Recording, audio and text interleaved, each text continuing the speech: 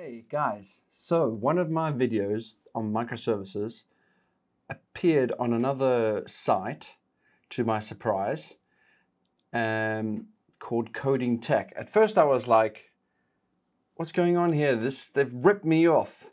Um, I have liberally uh, licensed the video, so you know you could download and republish it and I don't know, mash, mash my face up with something weird. You're welcome to, I don't really care. I, I license all my co content pretty liberally. So, um, but this coding tech, they didn't tell me that they did this. A guy named Rehan on the AWS uh, Slack user group thing told me. So cool. At first, I was a bit upset, but then um, I did notice that they they updated um, the description with the link back to the video. So um, okay, they comply, and and I, to be honest, I just the reason why I make videos is is, is the comments, right? And there was like 200 new comments to this video. Um, 40,000, uh, I mean, almost 50,000 views compared to the 6,000 on my own channel. I mean, what's going on with my channel, guys? Get, start spreading the, the gospel. I use this excuse to have some fun and I had to have a Zoom call with uh, Rehan and go through the comments together because he also interestingly has written like a cool decision chart and uh, blog. I mean, he's he's very much on top of microservices, um, and it was great to, to chat with him about the comments. Unfortunately, I when we did the Zoom call, I didn't optimize for third-party video recording, so you'll get like a tiny picture of my face and his in the, in, in the top corner there. Sorry about that. Um, please forgive me enjoy the our talk. I guess um, you know just listen to us perhaps without watching the video because the video just exposes my my uh, my soul on the right there with all the video suggestions. So hmm. so th- there you go. Do you think the team size matters? Well, I would definitely not consider it when you are a small team because you because you will have all of this cognitive overhead of, of like keeping track of um, like what's the communication between these services, like where's the data going, like where do I need to look for the logs for the service. So I would definitely not do it for a small team, but for a large team, like it can go either way.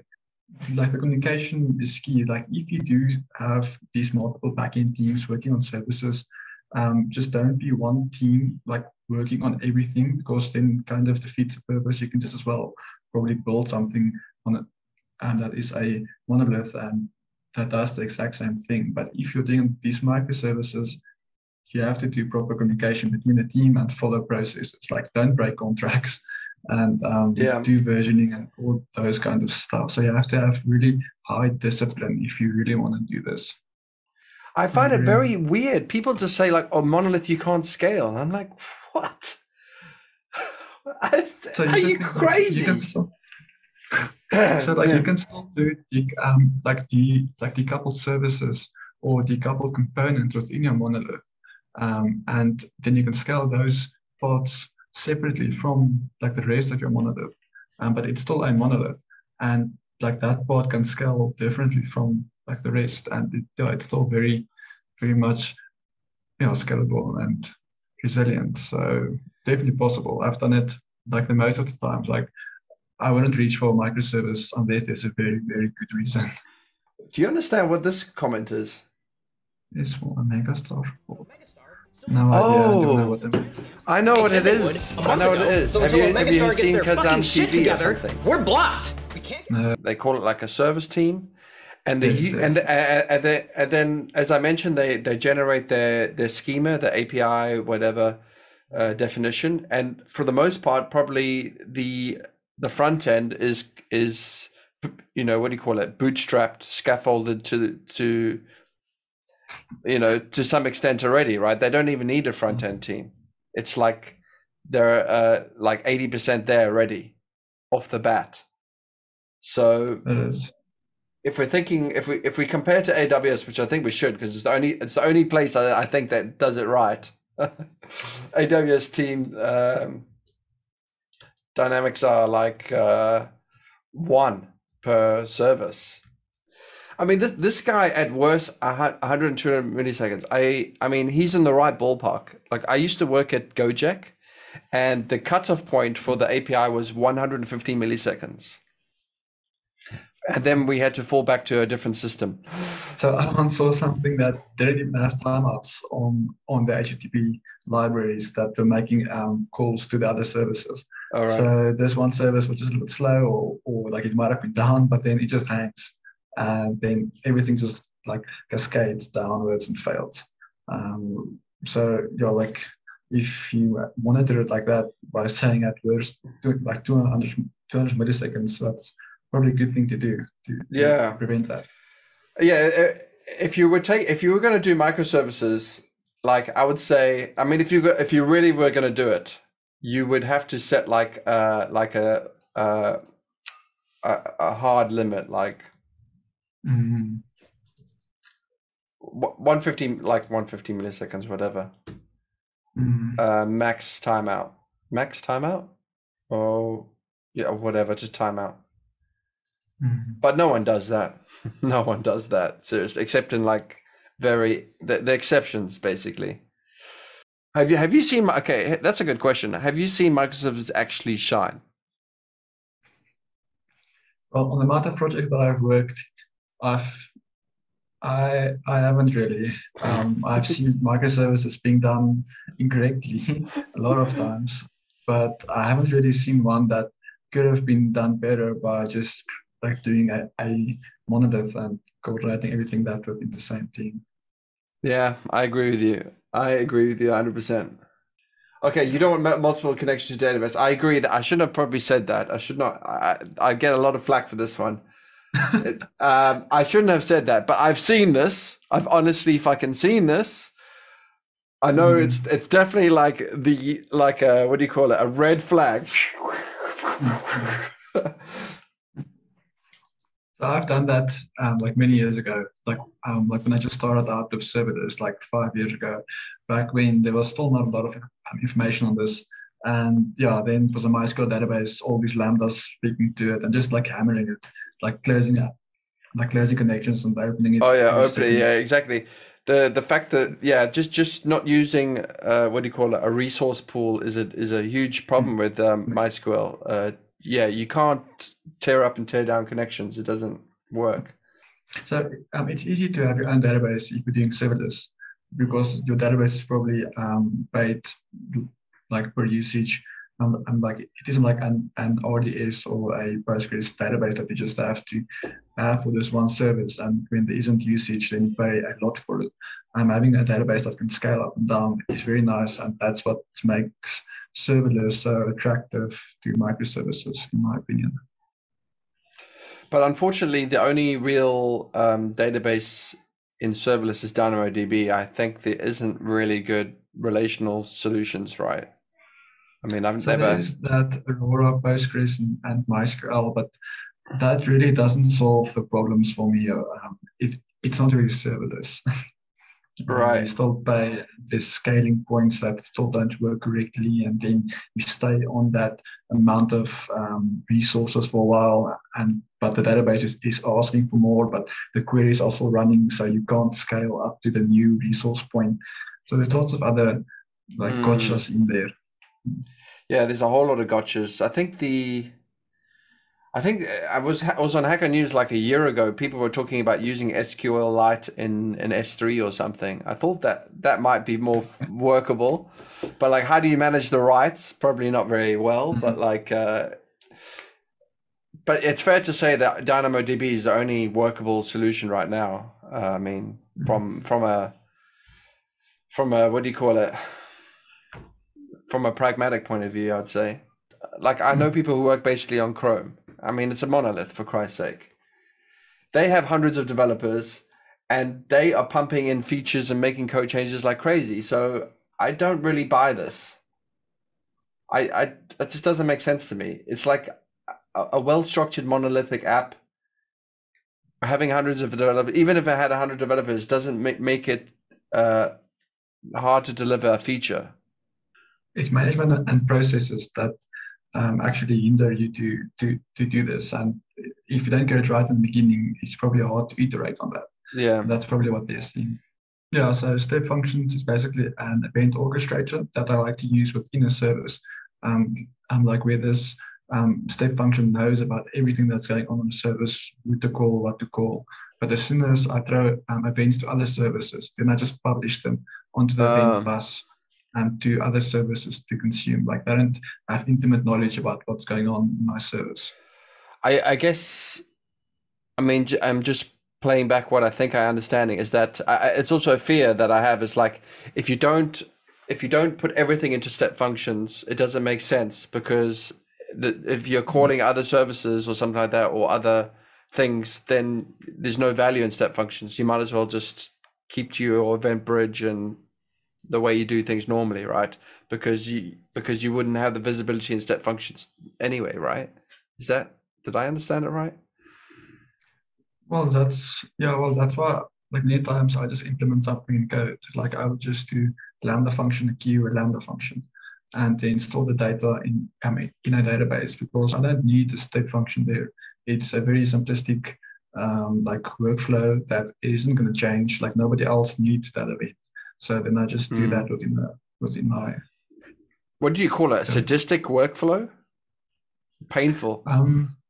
No, Did you say sadistic? I didn't. But okay, go ahead. um, it almost fits, I guess, depending on like what your stance is towards that. Yeah, I don't. That's that's something that's absolutely key for me is is development workflow and um, like number one, one of the number, well, yeah, I guess it is a number one rule for me is that I want it to run locally. So the minute like I'm I'm having to invest time into a cloud only, AWS only step function language or cloud formation even almost, it does feel a bit daft because because yeah, I can't run it locally. Like the cool thing about all my little Lambda things is that I can run it locally and test things to some extent. Okay, DynamoDB makes it a little bit exciting, but you know I can get by. Uh, I don't know. I I don't have a good solution for queues. Do you do you ever somehow simulate queues locally, I don't actually Uh, or like SQS, SQS more specifically? like I don't like simulate the transfer but I do simulate um, like almost in a unit test kind of sense where I simulate just the input coming from um, SQS and and then I just pass that to my lambda function and still debug it and make sure everything works. Okay, so so you, do you, you like you, you, you just you just uh, you just abstract on the event, right? You you just use the event. To, okay, okay. yeah, that's what I do. Yeah, I, I I'm yeah. So, would you actually use step functions or would you um, avoid it as a rule? No, um, I would use it, but um, not in a lot of cases. Um, so, like I've used one like where it makes sense, where I wanted a um, certificate from ACM, um, which is Amazon Certificate Manager. But like once you request it, um, and you then put your DNS records, it takes some time for that validation to take place, and there's no event that notifies you. So there, I created a step function that just creates the ACM and then puts DNS records and then just every minute checks, okay, is it valid? Is it valid? And once it's valid, then it posts a different event that says, okay, it's now valid. So in, in that case, um, it's much easier to do with the step function than to would have been doing that with two lambdas storing some state somewhere, or which I didn't really care about. In, that case, step function was perfect. What? Why was it easier? Because uh, you had like a point and click interface. I don't actually understand. Why was it easier? because otherwise I would have had to store some state somewhere else, so, um, like in a database to say that um, Oh, like this lambda function must check this this certificate. But with the step function, it's nice because when it started, um, I told it what um, certificate to check, and then every time um, like that lambda function can in, and when it starts back up, it, it, um, like it has that information. it has a counter and all that other stuff, all that state. Yeah. Interesting. Interesting. Hmm. Mhm. Okay, I learned, I think I learned something today. No. People sometimes think that they're going to be free to do what they want to do at microservices. I, I don't think that's true because you have to have a lot of discipline with the APIs and uh, okay, maybe you can choose your language. Like, well done, you can choose your fucking language. Awesome, but maybe you should be using the right language to begin with, or something like that. I don't know. It's like um, I'm like within a smallerish team or a company to use different languages for different services that's just something that's waiting to fail. Like where this one company has um, each service in, in, in a different language. That's just horrible. I wouldn't want to work there. If someone told me in my workplace, "Oh, we're going to start a new critical microservice and I want to run, I want to write it in Rust," I mean, I'm going to be that old guy going, "Oh my god." we have to, we have, we have to stop these guys right now.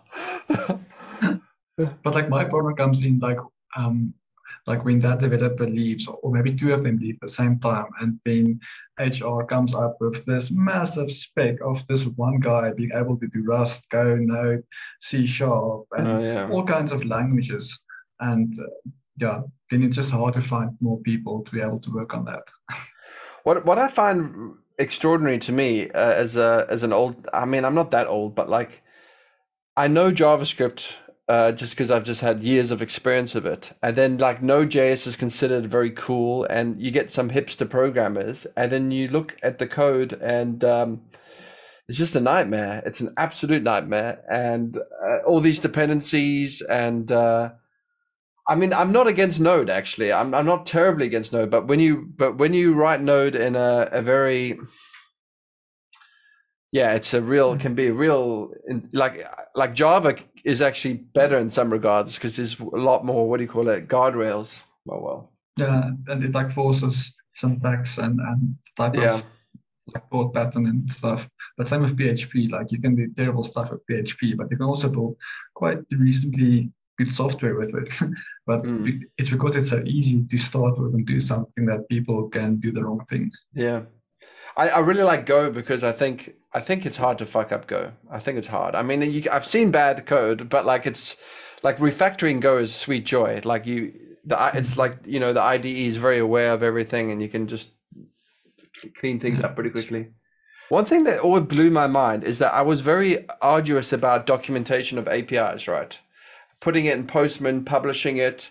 Uh, you know, you can mm-hmm. even put the Swagger in the in the API gateway, and then you can like publish some hmm. um, uh, things like this.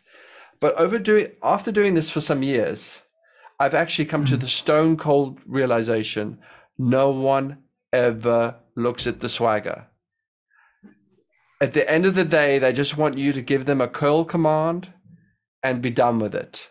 Like just run the curl command in the CLI, send it to them, and then they'll implement it. They'll never read the swagger so I actually got to the point like if my I, I just don't even bother. I just I just I just come up with a few curl examples and I send it to them and I'm like done. Because I know that's gonna work. The swagger thing doesn't work. Anyway, that's just my that's just that's anecdotal evidence. I'm doing something now like where I like write a very a very detailed an open API spec or, or a Swagger, and then yeah. I generate an, an SDK from that, and then I give them the SDK. So they don't even know there's API behind it. And they have to put in the API URL, um, like get the like authorization headers to put in the like when they create that class that um, for that service, and that's it. So I'm like taking that approach that um, AWS is doing, where you basically just have this SDK, and that's how you um, you generate an SDK? How the hell do you do that? So um, the Swagger is there for them to use if they wanted to, but there's an SDK that they can just consume. And there's tons of libraries that can convert a, a, a like very well written open API spec into an SDK of like any language. So it's which and that's also cool. Like you can just um, give this program that that Swagger file, and then they can integrate with any kinds of SDK or like any language that they want to. That's interesting. I mean, are you dealing? I'm just trying to think. Is your audience a higher bar or a lower bar than mine? That's what I'm thinking. well, this is actually internally just for the front end. Like I would write my backend a, a, a very detailed Swagger file, and then whenever that changes, it publishes um, and it publishes that SDK into a GitHub, and then the front end just reads from that GitHub. It, I mean, it, it doesn't even go to npm. You can install directly from GitHub. So yeah. Oh, And then I'd something breaks, be if you if you could give me an example of that, I'd be very curious. This is blowing my mind, to be honest. I Uh, still want to do a write up sometime. So hey guys, I hope you enjoyed that. Do check out Rehan's blog and subscribe to him on Twitter too. Why don't you? And uh, I'll see you on the next one. Like the video, subscribe, tell people about my awesome channel. And uh, oh man, it's good to be back after having COVID. Phew. To bit.